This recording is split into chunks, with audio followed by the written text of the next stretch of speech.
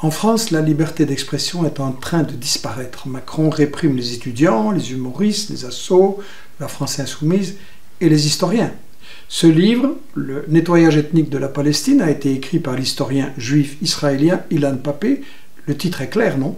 Il raconte avec tous les faits, les documents, les sources indiscutables comment Israël a dès le début chassé les Palestiniens pour s'emparer de leurs terres et voler leurs richesses. Bref, tout le contraire de la propagande sioniste et occidentale qui prétend que tout a commencé le 7 octobre en cachant l'origine du problème, en cachant des décennies de massacres et d'humiliation des Palestiniens. Ce livre, eh bien, il était édité et vendu en France par les éditions Fayard, célèbres.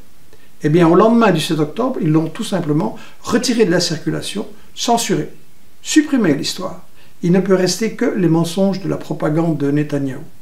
Nous, à Investigation, nous avons toujours défendu, et nous défendrons toujours, la vérité historique, même si les faits dérangent. Nous sommes fiers d'avoir édité ce livre d'Eliane Papé, La propagande d'Israël, qui explique comment les experts sionistes s'y prennent pour manipuler l'opinion. Nous sommes fiers de lui donner la parole sur notre site. Comme Ilan Papé, Investigation subit la censure, les insultes, les menaces, et nos finances en payent le prix.